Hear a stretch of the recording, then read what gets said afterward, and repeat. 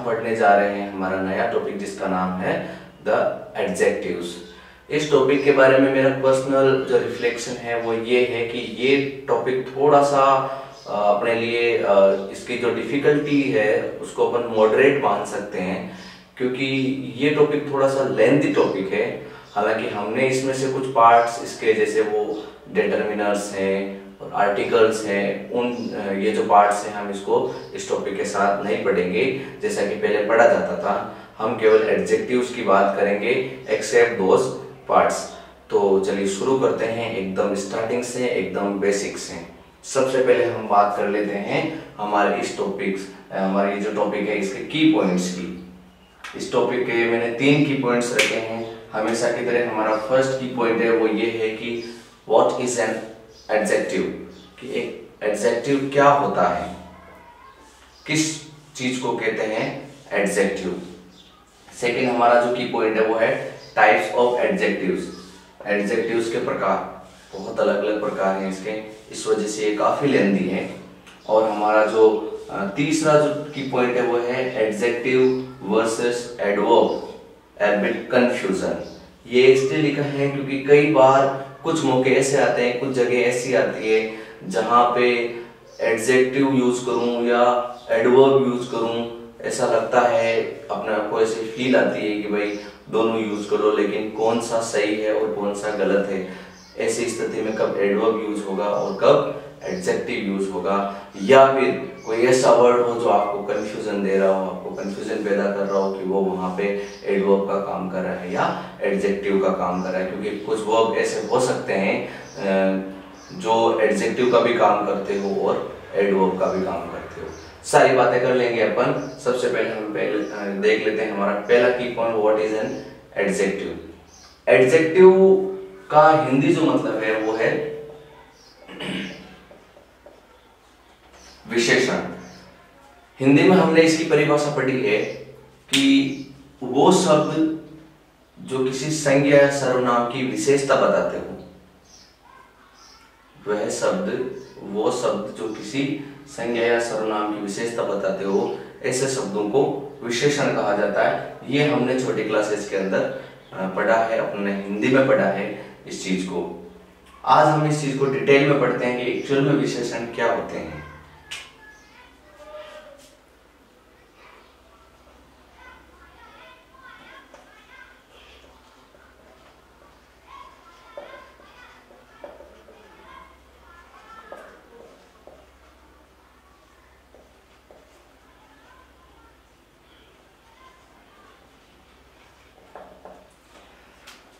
an adjective is a verb एक adjective एक ऐसा शब्द होता है। ध्यान से देखिएगा।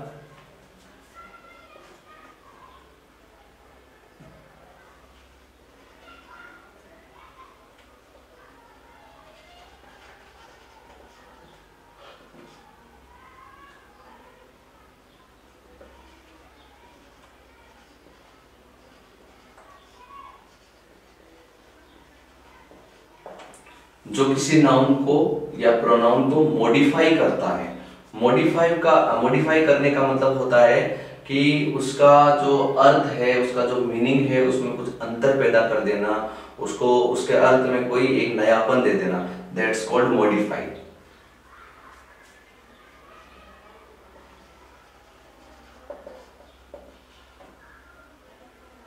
qualifies noun और प्रोनाउन किसी नाउन या प्रोनाउन की क्वालिटी बताता हो क्वालिफाई करता हो, वो भी एडजेक्टिव है।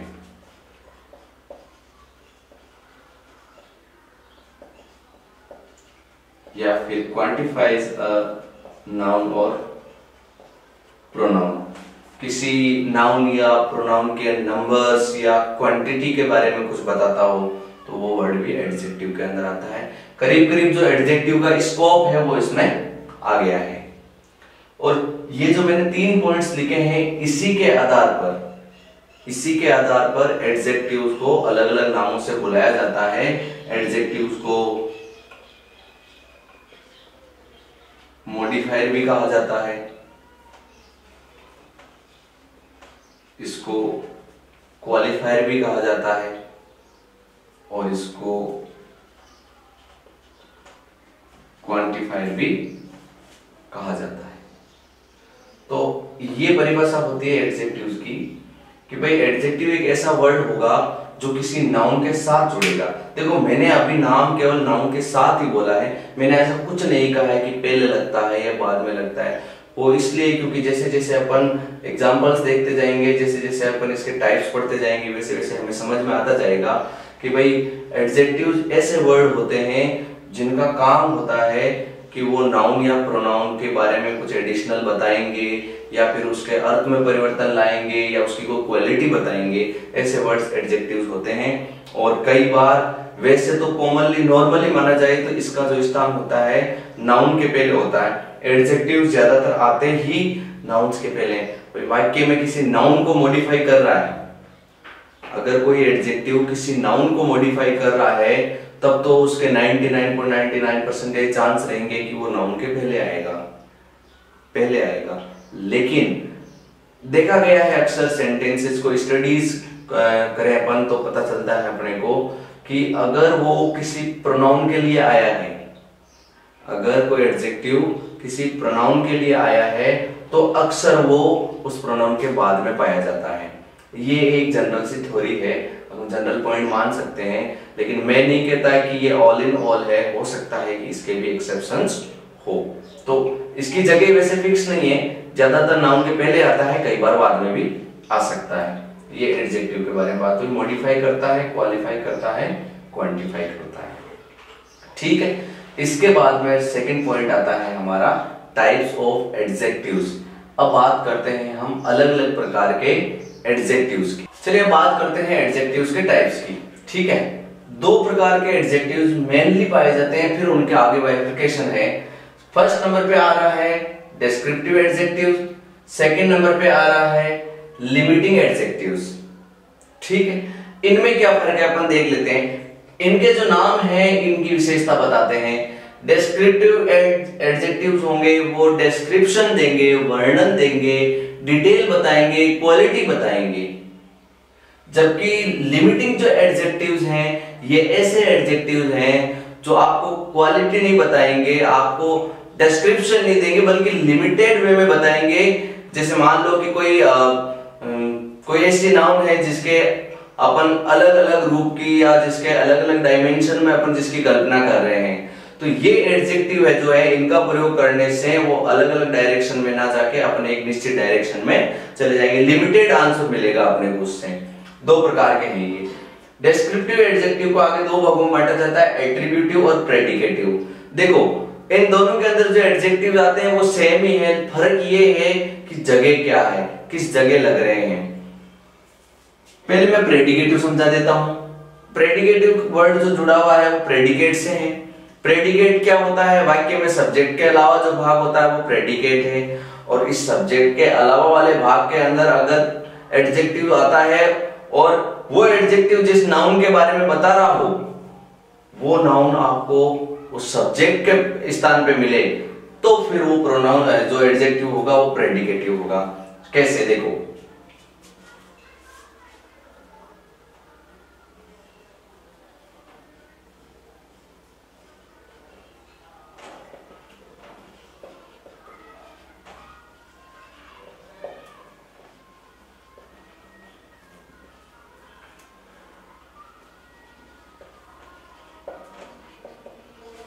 दो सेंटेंस मैंने लिखे हैं। This is a big house this house is big देखो, इसमें ये सब्जेक्ट है, इसमें ये सब्जेक्ट है। ठीक है? इसमें ये प्रेडिकेट है, इसमें ये प्रेडिकेट है। दोनों सेंटेंस को अगर आप गौर से देखोगे तो आपको पता चलेगा, इसमें नाउन प्रेडिकेट में आ रखी है, इसमें नाउन कहाँ रखी है? सब्जेक्ट में आ रखी है। ठीक है? ये नाउन तो सब्जेक्ट में है, लेकिन इसका जो इसकी जो क्वालिटी बताने वाला वर्ड है, जो एडजेक्टिव है, वो आपको कहाँ मिल रहा है? प्रेडिकेट में मिल रहा है। तो यहाँ पर ये जो बिग वर्ड है, जो एडजेक्टिव है, ये प्रेडिकेटिव है। इसके बजाय ऊपर वाले सेंटेंस में देखो तो नाउन तो प्रेडिकेट में है, साथ ही साथ आपका जो एडजेक्टिव है, वो भी किसमें आ रहा है? प्रेडिकेट में आ रहा है उस नाउन के पहले आ रहा है। तो ये जो यहाँ पे बिग वर्ड है, ये एट्रीब्यूटिव एडजेक्टिव है। बस इतना ही फ़र्क है दोनों के अंदर। जगह का फ़र्क है। This is big house house के पहले आ रहा है बिग नाउन के पहले आ रहा है बिग तो फिर ये एट्रीब्यूटिव है। और जो दूसरे वाक्य में आप देखोगे तो इसमें जो बिग आ रखा है, वो नाउन से एकदम अलग है। प्रेडिकेट वाले हिस्से में आ रहा है, इसलिए वो प्रेडिकेटिव एडजेक्टिव हो गए ये दोनों। इसमें आप ऐसा मान लो साइज़ बताने वाले एडजेक्टिव क्वालिटी बताने वाले एडजेक्टिव, बिहेवियर बताने वाले एडजेक्टिव, कंडीशन बताने वाले एडजेक्टिव। ठीक है? इस प्रकार की एडजेक्टिव है, वो डिस्क्रिप्टिव एडजेक्टिव्स में आते हैं। सिंपल वे में ऐसा समझ लो आप जब लिमिटिंग जो एडजेक्टिव है, उनको पढ़ लोगे, उसमें जो गिने चुने 20 30 जो भी एडजेक्टिव है, उनको छोड़ के बाकी सारे एडजेक्टिव किसमें आते हैं? डिस्क्रिप्टिव एडजेक्टिव्स में आते हैं। ये अपने को ध्यान रखना है। अब बात करते हैं लिमिटिंग एडजेक्टिव की। तो लिमिटिव लिमिटिंग एडजेक्टिव के अंदर दो प्रकार के जो एडजेक्टिव जो कि आर्टिकल्स और डिटरमिनर्स है, ये अपन अलग से पढ़ेंगे। आजकल वैसे भी इनको साथ में नहीं पढ़ते हैं। आजकल ये एडजेक्टिव्स में नहीं आते। इनका अलग टॉपिक अपने मैंने आपको शुरू में पार्ट्स ऑफ़ स्पीच जब स्टार्ट करवाया था, उसी में ही मैंने आपको बता दिया था। अपन शुरू करते हैं पॉजिटिव एडजेक्टिव से। पॉजिटिव एडजेक्टिव कौन से एडजेक्टिव है? पॉजिटिव एडजेक्टिव ऐसे एडजेक्टिव हैं जो नाउन का नाउन के साथ संबंध बताएँगे, और ये कुछ गिने चुने एडजेक्टिव ही है। कौन कौन से हैं? देख लेते हैं।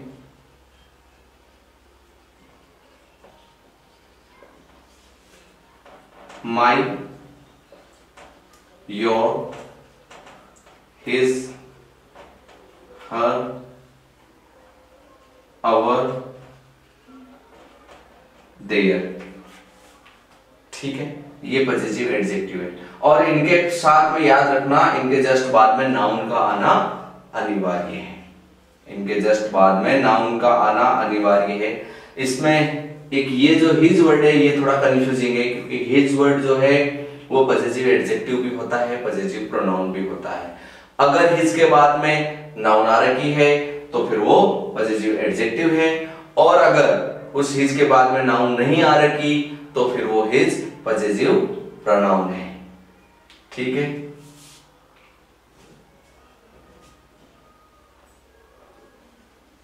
This book is his this is his book यहाँ देखो बुक अलग है हिज अलग है हिज के बाद में नाउन नहीं आ रही। संबंध तो बता रहा है, लेकिन इसके बाद में नाउन नहीं आ रही। तो ये हिज तो हो गया पॉजिटिव प्रोनाउन और दिस इज़ हिज बुक तो यहाँ जो हिज वर्ड है, वो किसके पहले आ रखा है? बुक बुक क्या होती है? नाउन होती है। इस वजह से ये हो गया पॉजिटिव एडजेक्टिव और ये बाकी सब तो वैसे भी क्लियर ही है, ये पॉजिटिव एडजेक्टिव में ही आते हैं। ये याद रखने वाली चीज़ है। अब इसके बाद बारी आती है डेमोस्ट्रेटिव एडजेक्टिव की। तो डेमोस्ट्रेटिव एडजेक्टिव क्या होता है?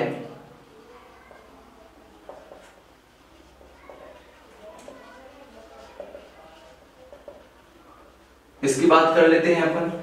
इसमें चार डेमोस्ट्रेटिव एडजेक्टिव हैं। This that this those sir ये क्या दिखा दिया आपने? ये तो हमने डेमोस्ट्रेटिव प्रोनाउन में पढ़ा था। अब आप बता रहे हो डेमोस्ट्रेटिव एडजेक्टिव है? बिल्कुल। डेमोस्ट्रेटिव एडजेक्टिव भी होते हैं और डेमोस्ट्रेटिव प्रोनाउन भी होते हैं और खास बात है यही चार वर्ड होते हैं। तो डिफ्रेंशिएट कैसे करेंगे कि वाक्य में जो दिस आया हुआ है, वो डेमोस्ट्रेटिव एडजेक्टिव है या डेमोस्ट्रेटिव प्रोनाउन है? कैसे कंफर्म करेंगे? सिंपल सा लॉजिक है। अगर इनके तुरंत बाद में नाउन है, तब तो एडजेक्टिव है। अगर इनके बाद में नाउन नहीं है तो फिर प्रोनाउन है। ये समझने वाली चीज़। है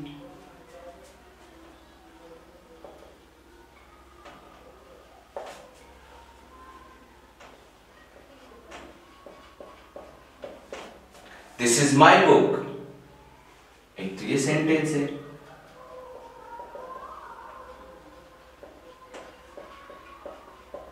आई लाइक दिस बुक दो जगह दिस मैंने यूज़ किया है।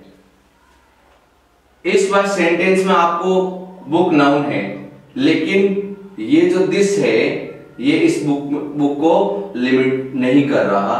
ये दिस इस बुक के लिए आया ज़रूर है, लेकिन इसकी विशेषता नहीं बता रहा। कब बताता अगर ये दिस इस बुक के पहले होता, जैसा कि इस सेंटेंस में। तो पहले वाला दिस, ये तो है डेमोन्स्ट्रेटिव प्रोनाउन और ये दूसरा वाला दिस, जो कि इस बुक नाम की नाउन के जस्ट पहले आ रखा है, ये है डेमोन्स्ट्रेटिव एडजेक्टिव बस, बहुत सिंपल है। दिस और दैट ये एक के लिए आते हैं। दीज और दोज ये एक से ज़्यादा के लिए आते हैं। चाहे व्यक्ति हो, चाहे वस्तु हो, चाहे कुछ और हो, ये समझने वाली चीज़ है। दिस और दैट दिस तो आता है अपने नजदीकी के लिए दैट आता है डिस्टेंस के लिए। कोई चीज़ नज़दीक है तो उसके लिए दिस प्रयोग करूँगा। कोई चीज़ दूर है तो उसके लिए दैट यूज़ करूँगा। इंडिकेट करने के लिए ही काम आते हैं, इसलिए इनको इंडिकेटिव एडजेक्टिव भी कह सकते हैं डेमोस्ट्रेटिव के साथ में। दीज और दोज दीज एक से ज़्यादा के लिए दोज भी एक से ज़्यादा के लिए, लेकिन दीज नज़दीक वाली चीज़ों के लिए, दोज, दूर वाली चीज़ों के लिए, ये हो गया अपना डेमोस्ट्रेटिव एडजेक्टिव आई होप इसमें किसी प्रकार का कोई कंफ्यूजन नहीं रह रहा है.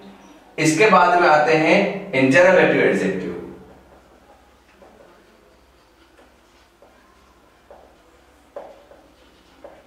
अब ये क्या होते हैं? नाम से ही पता चल रहा है कि ये इंटरोगेट करने में काम आएँगे। इंटेरोगेट करने का मतलब हुआ ये क्वेश्चन पूछने में काम आएँगे। लेकिन साथ में एडजेक्टिव भी होने चाहिए। अगर एडजेक्टिव होने चाहिए मतलब इसके बाद में नाउन भी होनी चाहिए। भाई नाउन को तो क्वालिफाई करेंगे ये। नाउन की तो विशेषता बताएँगे। नाउन को ही तो मॉडिफाई करेंगे। तो नाउन का होना तो ज़रूरी है। और नाउन कहीं और कहीं काम नहीं आएगी, इनके तुरंत बाद में होनी चाहिए। तो हम एक काम कर लेते हैं, क्यों ना हम इंटरवेटिव वर्ड देख लेते हैं कौन कौन से डब्ल्यू एच वर्ड हैं। हु लिख दिया होम लिख दिया हॉट लिख दिया विच लिख दिया हुज लिख दिया हाउ मेनी लिख दिया हाउ मच लिख दिया। और और तो फिर एक तो वेयर बच गया, एक वहन हो गया, और एक वाइफ हो गया, और कौन सा रह गया? ये प्लेस आ गया टाइम आ गया वाई हो गया? ये हाउ आ गया।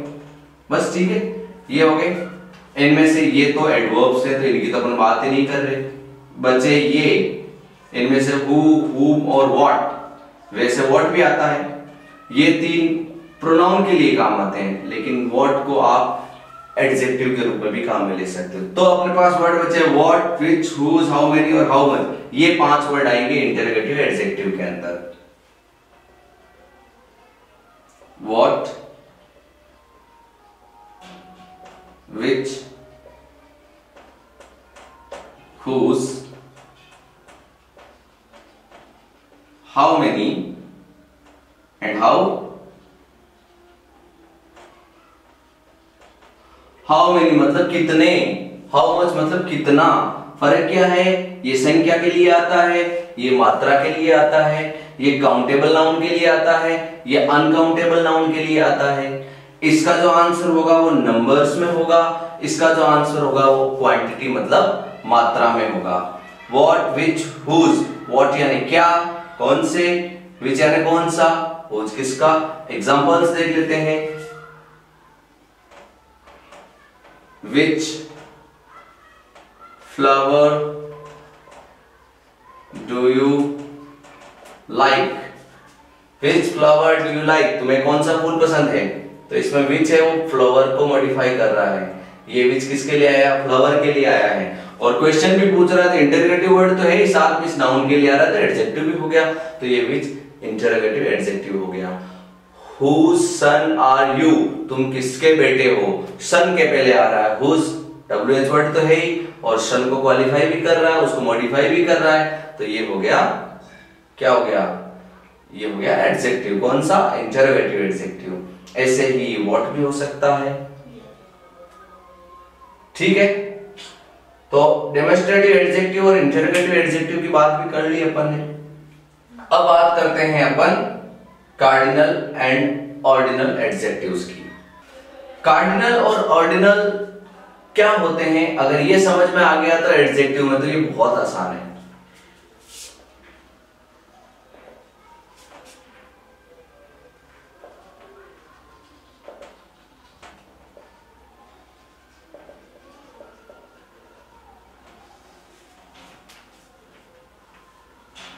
देखो, गिनती की बात करते हैं काउंटिंग की बात करते हैं अपन।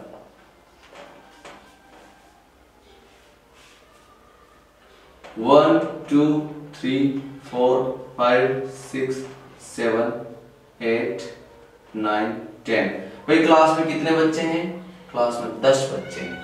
There are ten students in the class ये लिख दिया। ठीक है? अगर मैं कहूँ कि उस क्लास में पहला बच्चा कौन है? या उस क्लास में किस बच्चे का रोल नंबर सबसे पहले है? या उस क्लास में प्रथम स्थान पर कौन आता है? तो वहाँ पर एक डिफरेंट काउंटिंग काम आएगी, जो असल में काउंटिंग नहीं, बल्कि पोजीशन बताती है। नंबर्स में पोजीशन बताती है। First second third fourth fifth fifth six seventh eighth ninth tenth ये पोजीशन शो करती है। तो भाई, इसमें ये जो, इस प्रकार ये जो काउंटिंग है, इनको कार्डिनल नंबर्स कहा जाता है। और ये जो है पोजिशन शो करने वाले फ़र्स्ट सेकेंड थर्ड इनको ऑर्डिनल नंबर्स कहा जाता है।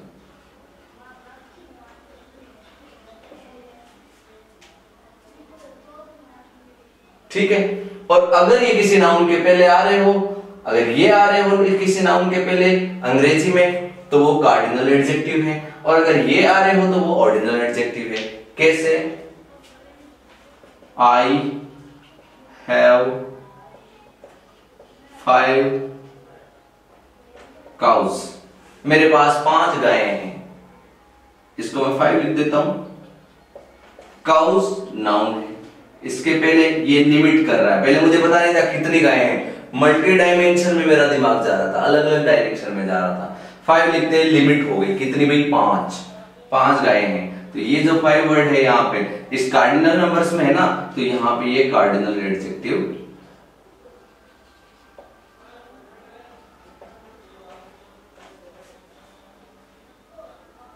ठीक है अब इसी से मैं सेंटेंस बनाता हूँ the fifth cow is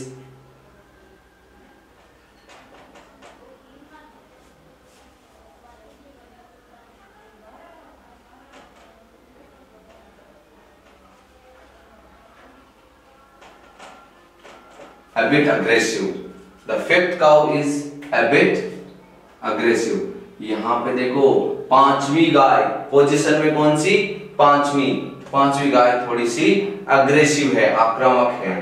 तो अब की बार ये जो काउ वर्ड है, ये नाउन है। लेकिन इसके पर, इसमें, इसके पहले देखो, इस प्रकार का नंबर आ रखा है ऑर्डिनल नंबर आ रखा है। तो ऑर्डिनल नंबर आ रखा है तो ऑर्डिनल एडजेक्टिव हो गया। बस इतनी सी बात है कार्डिनल एडजेक्टिव और ऑर्डिनल एडजेक्टिव और ये जो कार्डिनल और ऑर्डिनल एडजेक्टिव्स होते हैं यहाँ आकर एडजेक्टिव्स को इन्यूमरेटर भी कहा जाता है। केवल इन्हीं की वजह से, क्योंकि नंबरिंग करने में भी काम में आता है। क्वालिफायर क्वांटिफायर मॉडिफायर तो था ही इन्यूमरेटर भी हो जाता है। कब? जब बात आती है इन एडजेक्टिव्स की कार्डिनल और ऑर्डिनल एडजेक्टिव्स की। ठीक है? अब अपने पास लास्ट एडजेक्टिव बचता है सॉरी सेकंड लास्ट एडजेक्टिव बचता है। प्रॉपर एडजेक्टिव इसकी बात करते हैं। प्रॉपर एडजेक्टिव व्यक्तिवाचक विशेषण। ये कौन से एडजेक्टिव्स होते हैं? ये ऐसे एडजेक्टिव्स होते हैं जो बनते हैं किसी प्रॉपर नेम से। जो किसी प्रॉपर नेम या प्रॉपर नाउन से बनते हैं। कैसे? जरा देखना। मेरे देश का नाम है इंडिया। ठीक है? मेरे देश का नाम है इंडिया। और क्योंकि मैं इंडिया का निवासी हूँ, इंडिया में रहता हूँ, इसलिए मुझे कहते हैं इंडियन। ये जो इंडियन वर्ड है, ये जो इंडियन वर्ड है, वो एक प्रॉपर एडजेक्टिव है।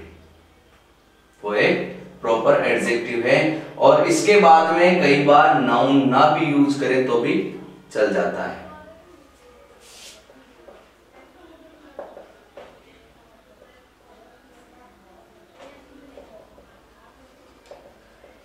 ही इज़ एन इंडियन वो एक इंडियन है, इतना ही लिख के काम समाप्त हो जाता है। इसका मतलब ये हुआ कि प्रॉपर एडजेक्टिव्स के लिए उसके तुरंत बाद में किसी पर्टिकुलर नाउन की ज़रूरत नहीं पड़ती। ही इज़ एन इंडियन मान लो अपनी कोचिंग है ब्रिलियंट एकेडमी तो इसमें जो पढ़ने वाला होगा, उसको ब्रिलियंट अकेडमियन कह सकते हैं अपन, या ब्रिलियंटियन कह सकते हैं। कई जगह चलता ही है ब्रिलियंटियन कह सकते हैं। ठीक है? अमेरिका में रह रहा है कोई तो अमेरिकन कह सकते हैं। ये जो इस प्रकार के वर्ड हैं, जो प्रॉपर नेम से या प्रॉपर नाउन से बनते हैं, वो आते हैं प्रॉपर एडजेक्टिव्स के अंदर। तो इस प्रकार अपन ने पॉजिटिव एडजेक्टिव पढ़ लिए हैं डेमोस्ट्रेटिव एडजेक्टिव पढ़ लिए हैं इंटरोगेटिव एडजेक्टिव पढ़ लिए हैं कार्डिनल और ऑर्डिनल एडजेक्टिव भी पढ़ लिए हैं, और लास्ट प्रॉपर एडजेक्टिव भी पढ़ लिए हैं। अब लास्ट अपने पास पॉइंट है नाउन एडजेक्टिव्स नाउन एडजेक्टिव्स क्या होते हैं?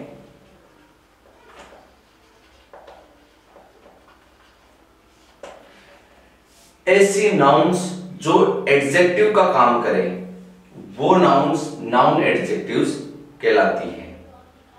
ऐसा क्यों होता है? ऐसा अक्सर तब होता है जब कोई दो नाउन साथ में यूज़ की जाए। जैसे देखो I know mister Ram he is a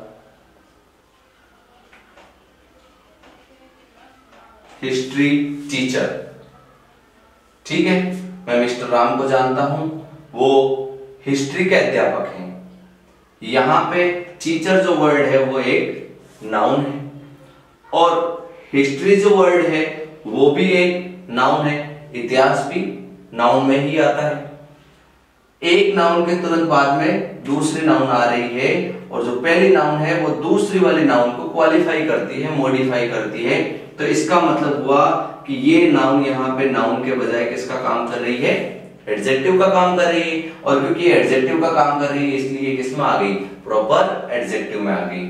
ऐसे केसेस में जब जब एक नाउन है, किसी एडजेक्टिव का काम करने लग जाए, किसी दूसरी नाउन के तुरंत पहले आके उसको क्वालिफाई या मॉडिफाई करती है तो प्रॉपर एडजेक्टिव नाउन एडजेक्टिव के अंदर आती है। इस प्रकार ये जो अपने लिमिटिंग जो एडजेक्टिव्स थे, उनको अपन ने अच्छे तरीके से पढ़ लिए हैं। सारे आगे इनमें सिर्फ़ आर्टिकल्स और डेटर्मिनर्स बच रहे हैं, जिनको अपन डिफरेंट टॉपिक के रूप में नेक्स्ट जो पार्ट्स ऑफ़ स्पीच के पार्ट आएँगे, उनके अंदर इनकी स्टडी करेंगे। तो ये यहाँ तक अपन दो मेन पॉइंट अपने कंप्लीट हो गए हैं आज एडजेक्टिव्स के अंदर। नंबर एक पॉइंट तो ये हो गया कि एडजेक्टिव्स क्या होते हैं और नंबर दो ये हो गया कि एडजेक्टिव्स के कितने प्रकार होते हैं? एडजेक्टिव्स दो प्रकार के मेनली होते हैं डिस्क्रिप्टिव होते हैं लिमिटिंग होते हैं। डिस्क्रिप्टिव में दो होते हैं एट्रीब्यूटिव होती है एक तो और दूसरे होते हैं कौन से? प्रेडिकेटिव उससे प्रेडिकेटिव होते हैं। ठीक है, और लिमिटिंग के अंदर ये सारे लिखे हुए हैं। आई होप आपको एडजेक्टिव के प्रकार अच्छे तरीके से समझ में आगे होंगे। अब हमारा लास्ट तीसरा की पॉइंट जो रहता है, वो ये रहता है कि एडवर्ब वर्सेस एडजेक्टिव एक जो कंफ्यूजन है, उसका क्या करें? वो कंफ्यूजन कब होता है? ठीक है? क्या एडवर्ब और एडजेक्टिव कोई दो वर्ड ऐसे हो सकते हैं? कोई एक वर्ड कोई ऐसा हो सकता है जो एडवर्ब और एडजेक्टिव दोनों रूप में काम में आ सकता है? एक तो ये कंफ्यूजन हो गया। एक किसी नाउन के बाद में बाद में एडजेक्टिव आ रहा है या पहले आ रहा है, किसी वर्ब के बाद में कोई वर्ड आ रहा है तो वो एडजेक्टिव का काम कर रहा है या एडवर्ब का काम कर रहा है, ये भी एक कंफ्यूजन है जो अभी अपन दूर करते हैं। नेक्स्ट अपना पॉइंट यही है।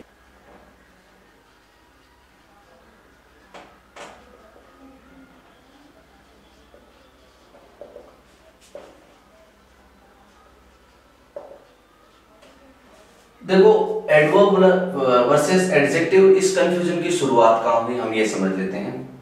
एडवर्ब का काम होता है वर्ब को मॉडिफाई करना वर्ब की विशेषता बताना। एडजेक्टिव का काम होता है नाउन को मॉडिफाई करना नाउन की विशेषता बताना।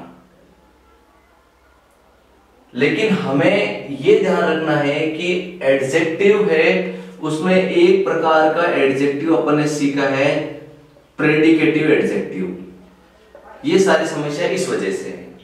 प्रेडिकेटिव एडजेक्टिव ऐसा एडजेक्टिव होता है जो नाउन के पहले नहीं आता।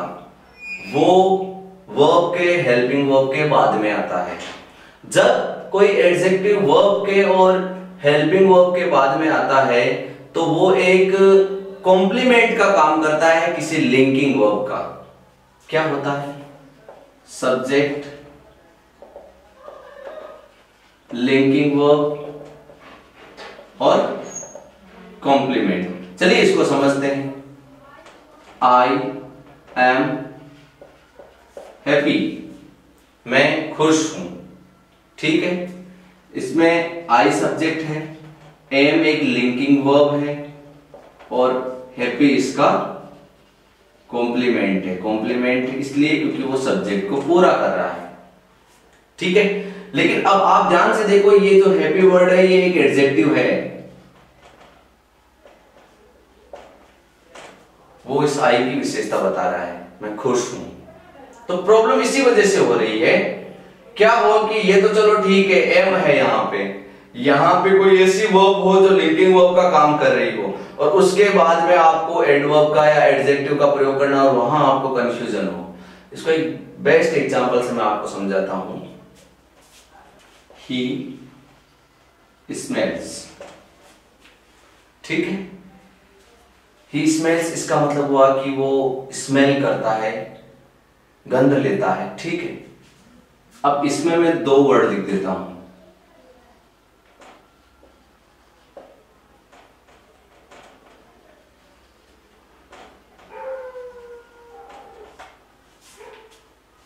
ठीक है? देखो, दो वर्ड लिखे हैं, दोनों के डिफरेंट मीनिंग है, दोनों के डिफरेंट पोजिशन हैं। लेकिन दोनों के दोनों वर्ड आ रहे हैं इस स्मेल के बाद में। ठीक है ना? अब ये जो पहला जो वर्ड बैड है, ये बैड वर्ड होता है एडजेक्टिव क्लियर ही? स्मेल्स बैड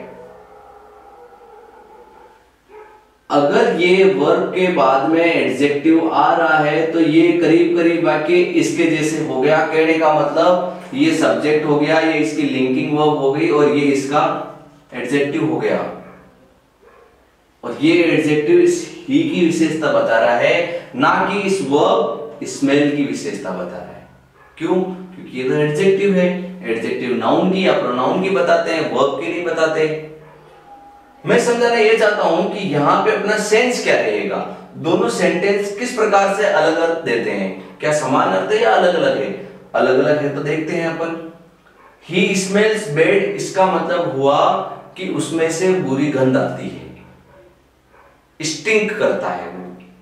ही स्मेल्स बेड इसका मतलब उसमें से बुरी गंध आती है। स्टिंक करता है, यहाँ गंध वर्ड है वो, ये जो बुरी स्मेल आती है, ये जो दुर्गंध आती है, ये जो यहाँ पे पूरा वर्ड है, ये ही को मॉडिफाई कर रहा है क्वालिफाई कर रहा है, इस ही की विशेषता बता रहा है। वर्ब की नहीं बता रहा। अगर मैं इस सेंटेंस को देखूँ ही स्मेल्स बेडली तो उसका मतलब हुआ कि उसका जो सांस लेने का स्मेल करने का जो तरीका है, वो ठीक नहीं है। वो बुरी तरीके से स्मेल करता है। पहला सेंटेंस तो बता रहा है कि उसमें से दुर्गंध आती है। वो जो स्मेल करता है, उसमें दुर्गंध आती है। ठीक है? और ये जो सेंटेंस है, ये बता रहा है आपको कि उसके जो स्मेल करने का जो तरीका है, गंध लेने का जो तरीका है, वो तरीका बुरा है। तो यहाँ पे ये जो वर्ड है, ये बेडली ये यहाँ पे एडवर्ब है। ये समझना ज़रूरी है, ये अक्सर कंफ्यूजन रह जाता है एडवर्ब और एडजेक्टिव का। इस चीज़ का भी थोड़ा सा ध्यान रखना है। वैसे ये काफ़ी हाई लेवल की चीज़ है, लेकिन क्योंकि अपन एडजेक्टिव टॉपिक पढ़ रहे हैं, आगे एडवर्ब टॉपिक भी आने वाला है तो मुझे थोड़ा सा रेलिवेंट लगा, इसलिए मैंने इसमें आपको इसी के साथ बता दिया। इस प्रकार ऑल इन ऑल अपना ये जो टॉपिक था द एडजेक्टिव ये इस प्रकार आज कंप्लीट होता है। और इसी के साथ हमने अपना चार नंबर जो पार्ट्स ऑफ़ स्पीच था, वो भी अपन ने पढ़ लिया है। अपन ने वर्ब पढ़ ली है एडजेक्टिव पढ़ ली है नाउन पढ़ ली है और प्रोनाउन भी पढ़ ली है। और अब जो अपना जो नेक्स्ट टॉपिक रहने वाला है, वो हमारा टॉपिक है एडवर्ब नेक्स्ट टॉपिक जो हमारा होगा, वो एडवर्ब होगा। और उस टॉपिक से आ, सीखने के लिए उस टॉपिक को पढ़ने के लिए आप लोग हमारे इस चैनल से जुड़े रहे हैं जिन्होंने सब्सक्राइब नहीं किया है वो भी इस चैनल को सब्सक्राइब कर लीजिए। धन्यवाद।